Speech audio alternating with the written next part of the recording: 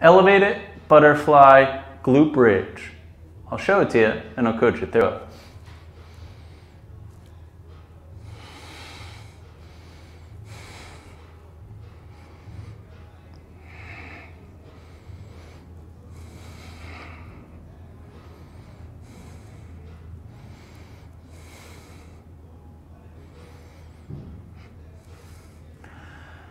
The elevated part of the elevated butterfly glute bridge just means that your feet are higher than your hips.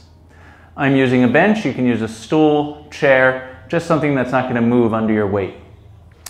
The second part is the butterfly position. The butterfly position is soles of the feet together. So here, just the outer edge of my foot is pushing against the edge of the bench. In this position during my setup, I'm going to feel a stretch in here and just let my knees relax open.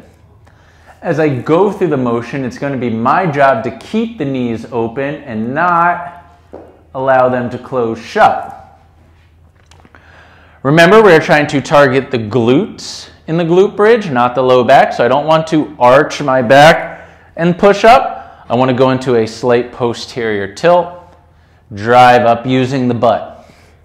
At the top, I can feel some stretching happening here, and I certainly feel the outer part of my glutes pushing up, tapping the floor, coming back up.